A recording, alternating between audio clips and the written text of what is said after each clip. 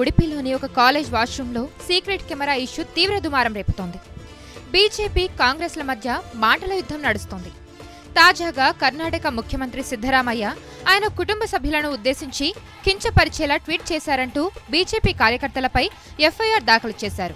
ఉడిపిలోని ఒక private paramedical college వాష్రూంలో ముగ్గురు యువకులు సీక్రెట్ కెమెరాలను అమర్చి అమ్మాయిల నగ్న చిత్రాలను చిత్రీకరిస్తున్నారని ఆరోపణలు వచ్చాయి. ఈ అంశంపై కర్ణాటకలో పెద్ద ఎత్తున ఆందోళనలు చేపడుతుంది బీజేపీ. కాంగ్రెస్ ఈ సంఘటనను పిల్లల ఆటగా చూస్తుందని కర్ణాటక కాంగ్రెస్ అధికారిక హ్యాండిల్ చేసిన ట్వీట్ స్క్రీన్ షాట్ను షేర్ చేశారు బీజేపీ కార్యకర్త శకుంతల. దీనిపై ఘాటుగా స్పందించారు సిద్ధరామయ్య. మరోవైపు సిద్ధరామయ్యపై అనుచిత వ్యాఖ్యలు చేశారన్న ఫిర్యాదుతో బీజేపీ కార్యకర్త శకుంతలపై ఎఫ్ఐఆర్ నమోదు చేశారు.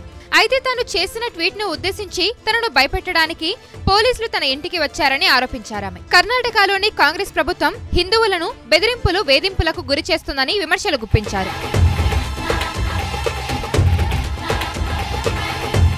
కాలేజ్ వాష్రూంలో సీక్రెట్ కెమెరాలు ఉన్నాయనే వాదనలను తోసిపుచ్చారు జాతీయ మహిళా కమిషన్ సభ్యురాలు ఖుష్బు బయట ప్రచారం జరుగుతున్నట్టుగా అక్కడేమీ లేవని స్పష్టం చేశారు పోలీస్ ఉన్నతాధికారులతో ఆ కాలేజ్లో పర్యటించిన ఎన్సీడబ్ల్యూ బృందం కావాలనే దుష్ప్రచారం చేస్తూ తప్పుడు వీడియోలు వైరల్ చేస్తున్నారని అక్కడ రహస్య కెమెరాలు ఏమీ లేవని తేల్చి చెప్పారు We haven't found any evidence as yet.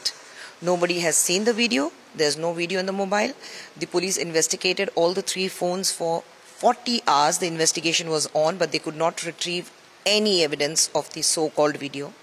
They are sending the phones to the forensic department in Bangalore, and we have to wait till the forensic department gives, an, uh, gives us an evidence saying that yes, there's a video which was recorded. Girls వాష్రూంలో విద్యార్థినుల వీడియోలను record చేశారన్న ఆరోపణలతో ముగ్గురు విద్యార్థులు college నుంచి suspend అయ్యారు suspend అయిన ముస్లిం విద్యార్థులు జిహాదీ కుట్రలో భాగంగా హిందూ బాలికల ప్రైవేట్ వీడియోలను చిత్రీకరించారని వాటిని ముస్లిం పురుషులకు పంపడానికి కుట్ర చేస్తున్నారని వివాదం చెలరేగింది.